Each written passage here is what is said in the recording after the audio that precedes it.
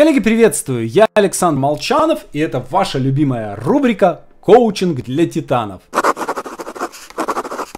В кругу творческих людей считается неприличным говорить о продажах. Если вас захотят оскорбить, то, вас, то про вас скажут, ну он плохо пишет. Но если вас захотят унизить, про вас скажут, он хорошо продает. Честно говоря, я не понимаю, откуда это взялось и почему это с нами происходит. Мы что, все мазохисты? Мы что, любим питаться китайской лапшой? Мы любим одеваться в секонд-хендах? Мы любим слушать, как плачут наши дети, потому что мы не можем купить им новую игрушку? Сценаристы, блин, мать вашу, почему вы позволяете вашим детям плакать из-за того, что вам, видите ли, стыдно продавать? Ах, коллеги подумают о вас нехорошо, а перед своими детьми вам не стыдно? Продавать сценарии трудно. Нет, скажу не так, скажу жестче. Продавать сценарий очень трудно. Чертовски трудно. Сверхъестественно трудно. Я слышал разговор о том, что хорошему товару не нужен маркетинг. Хороший сценарий сам себя продает. Просто нужно лучше писать. Знаете что? Засуньте это все, знаете куда? Продать сценарий это сложнейшее, многоступенчатое, состоящее из многих элементов продажа. Вы не продаете хлеб или мыло. Ваш товар не продаст себя сам. Вам придется предпринимать для этого определенные усилия.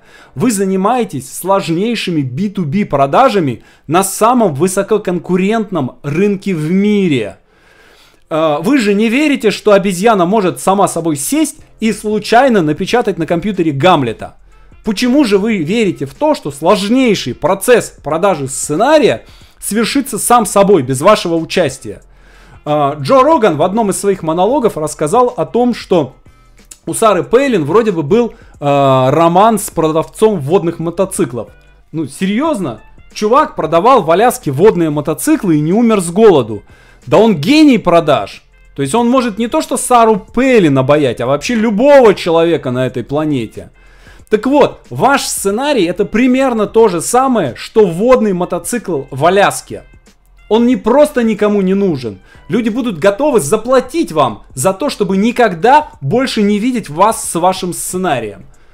Так что учитесь продавать ваши сценарии, учитесь находить продюсеров, учитесь правильно писать им письма, учитесь правильно звонить по телефону, учитесь вести переговоры, учитесь правильно обсуждать условия договора и правильно их исполнять.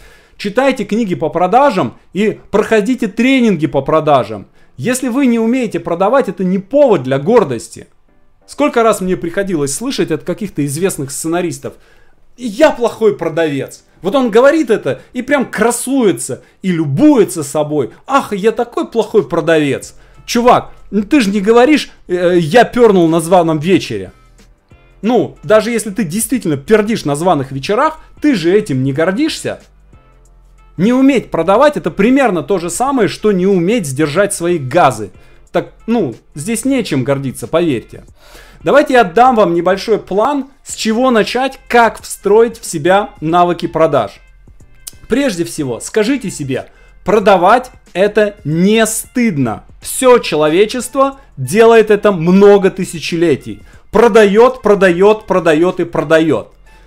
А, поставьте это видео на паузу прямо сейчас найдите ближайшее зеркало, посмотрите на себя и скажите себе вслух, продавать это не стыдно. Все человечество делает это много тысячелетий. Сделали? Отлично, идем дальше. Давайте начнем с очень простой продажи. Когда вы досмотрите это видео до конца, откройте ваш шкаф с одеждой. Найдите там вещи, которые вы не надевали больше года. Скорее всего, вы больше никогда их не наденете. Сфотографируйте эти вещи на свой телефон и разместите на сайте Авито объявление о продаже этих вещей. Э, пусть, пусть это будут небольшие деньги, в три раза дешевле, чем то, за что вы покупали эту одежду. Это очень простая продажа. Она не требует от вас почти никаких усилий. Она принесет вам совсем немного денег. Но даст вам уверенность в том, что вы можете это делать. Вы можете продавать. Затем мы с вами перейдем от простого к сложному. Следующее упражнение чуть сложнее.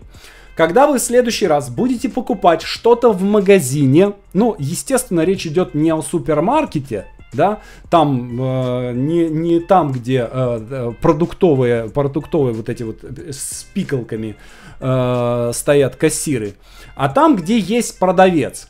Э, попробуйте поторговаться, попросите скидку. Самое плохое, что с вами может после этого произойти, вам скажут, скидок нет. Ну окей, хорошо, идете дальше. Но с очень высокой вероятностью вам дадут эту скидку. Как правило, э, если в зале есть продавец, то скорее всего у продавца есть полномочия дать скидку в 5-10%. Попробуйте.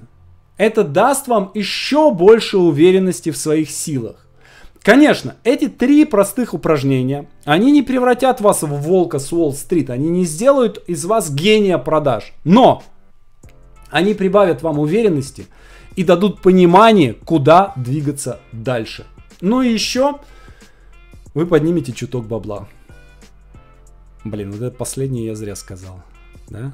Или не зря?